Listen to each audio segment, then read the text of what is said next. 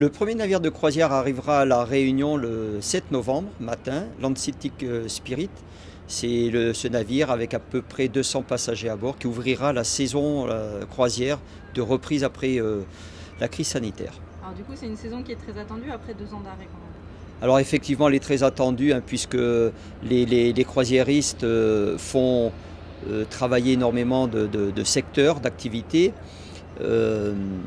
Et après la reprise du, Covid, c'est aussi une remise en marche euh, un petit peu aussi bien pour les transporteurs, le port, euh, un petit peu tous les intervenants. Alors pour cette saison, c'est en moyenne, enfin en gros 24 euh, escales qui sont faites par 15 navires. D'accord? Et la moyenne des passagers à bord va de 200 à 1500, sachant que pour l'instant ce sont des estimations en fonction de la capacité des navires.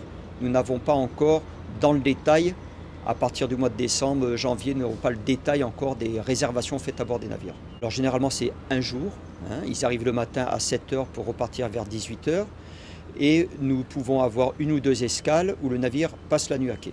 Alors nous avons dans, l'organisation euh, de, l'accueil des croisiéristes hein, pour leur descente à terre et leurs excursions sur l'île, euh, une réunion a été faite il y a bientôt deux semaines à la sous-préfecture de Saint-Paul avec tous les professionnels du transport pour caler justement les conditions d'accueil pour que ça se fasse dans des règles de sécurité et de sûreté.